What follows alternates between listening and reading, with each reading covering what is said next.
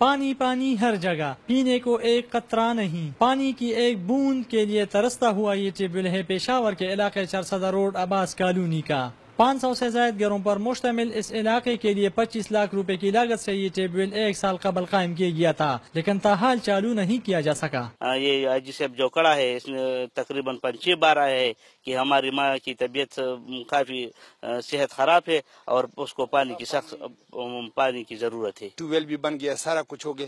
لیکن چالو کرنے کے لیے کوئی بھی نہیں آتا ہے۔ یہاں علاقے کے لیے کسی نے بھی کوئی ہمت نہیں کی کہ یہاں پہ آئے۔ علاقے کو پانی مہیا کرنے کے لیے ٹیوب ویل سے بچھائی گئی پائپ لائن میں گندا پانی ٹہرایا ہوا ہے۔ پانی ملنے کا تو سوال ہی نہیں لیکن گندا پانی سے علاقے میں وبائی امراض پھوٹنے کا خدشہ ہے۔ کے پی کے میں چوہوں کی برمار ہے اور ہمارے گھروں میں جو ہم نے اپنے ذاتی بور نکالے اس میں اکثر گھروں میں چوہے نکل گئے ہیں۔ چوہے اس میں پہنچ گئے وہ پانی مضر صحت بن چکا ہے۔